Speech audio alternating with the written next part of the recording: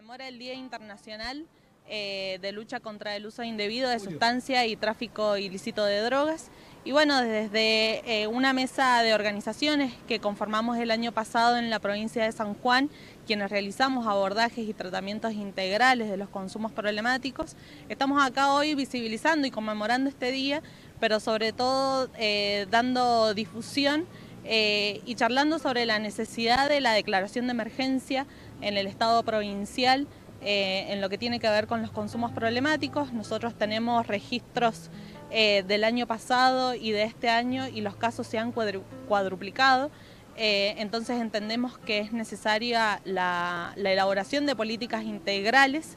desde el Estado provincial para que sea atendido de manera urgente esta problemática que nos afecta a todos y todas. Nosotros lo, principal que podemos identificar es eh, un colapso en el sistema de salud. Creemos que el sistema de salud tiene que tomar medidas urgentes respecto a la problemática de los consumos, porque es una problemática de salud mental,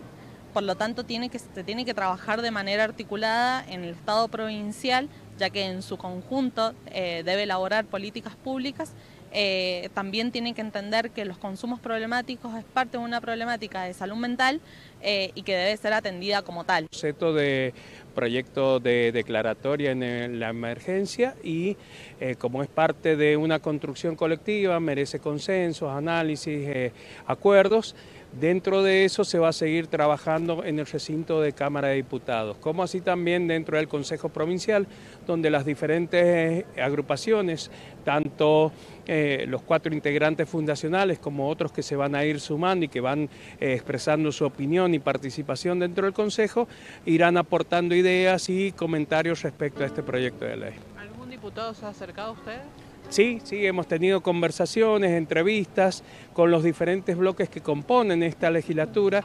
y es válido destacar que eh, el interés existe. Eh, cada uno ha tenido una visión muy particular, muy singular de, la situación y bueno, dentro de eso eh, merece aportes que sin duda van a verse reflejados al momento de ser tratado en el recinto y de ser aprobado este proyecto de ley. ¿Hasta qué hora van a encontrarse acá en la esquina de, la, de enfrente de la legislatura?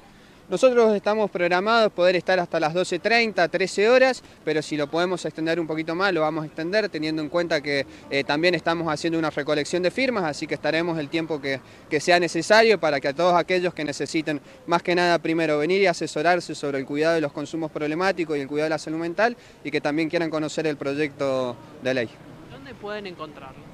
Nosotros tenemos eh, trabajo en cuatro departamentos, en Capital, en Villa del Carril, acá en el centro en Santiago del Estero y San Luis, en Rawson, en la calle Mendoza, en Villa Krause, en, Villa Larman, en Posito, en el, barrio popular Alfonso XIII, calle Alfonso XIII entre 3 y 14, en el barrio Franklin en Rawson y en Rivadavia, en la Villa San Roque.